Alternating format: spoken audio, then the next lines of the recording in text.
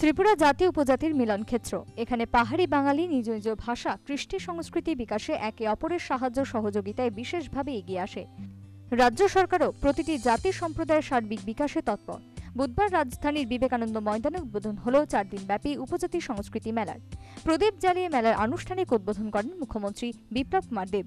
এছাড়া অনুষ্ঠানে রাজস্ব মন্ত্রী নরেন্দ্রচন্দ্র দেববর্মা বনমন্ত্রী মেবার কুমার জমাতিয়া সহ অন্যান্যরা উপস্থিত ছিলেন। মুখ্যমন্ত্রী এদিন বলেন রাজ্য সরকার ও কেন্দ্রীয় সরকার একযোগে কাজ করছে জনজাতিদের সার্বিক উন্নয়নে। আর নতুন সরকার ক্ষমতায় আসার পর থেকে এই কাজ শুরু হয়েছে। ত্রিপুরাতে এই নতুন সরকার আসার পর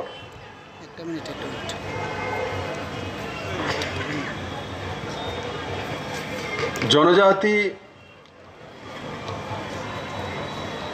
উন্নয়নে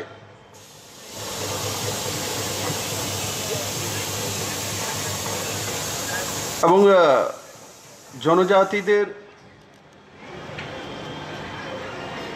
সার্বিক উন্নয়নের জন্য কেন্দ্র এবং রাজ্য সরকার সমাবেতভাবে কাজ করছে। মুখ্যমন্ত্রী আরও বলেন রাজ্য সরকার পাহাড় সমতল সর্বত্র সমান গুরুত্ব দিয়ে কাজ করছে এবং যতদিন সমতা না আসবে এ কাজ চলতে থাকবে। ধারাতে যেতে চায়।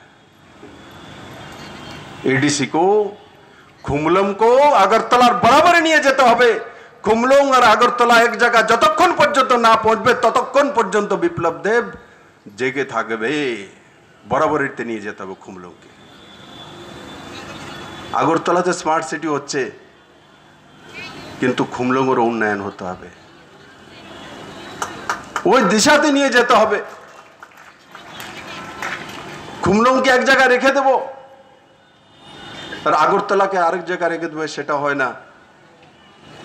সমভাবে ডেভেলপমেন্ট হতে হয়। আর সেই দিশাতে কাজ করছে এই সরকার।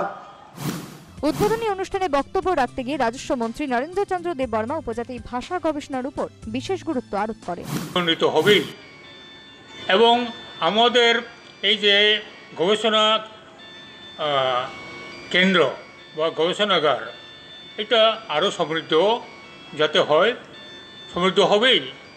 আমরা সবসময় বল আমরা অনেকেই বলি যে ত্রিপুরার আদিবাসী লুপ্তপ্রায় হয়ে আছে। কেন লুপ্তপ্রায় হবে?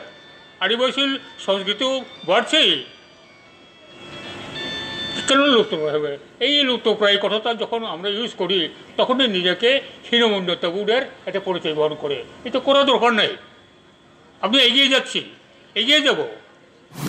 এই উপজাতির সংস্কৃতি মেলায় বিভিন্ন উপজাতি নরনারী যুবক, যুবতীরা তাদের ঐতিহ্যবাহী পোশাক পরিধান করে মেলায় স্টল খুলে বসেন এবং সেই স্টলগুলিতে উপজাতিদের ঐতিহ্যবাহী রকমারি খাবার, মেলায় উপস্থিত খাবার রসিকরা তাড়িয়ে তাড়িয়ে উপভোগ করছে। আগামী চোদ্দই মার্চ শনিবার এই মেলার পরিসমাপ্তি ঘটবে। Bureau report, news Vanguard.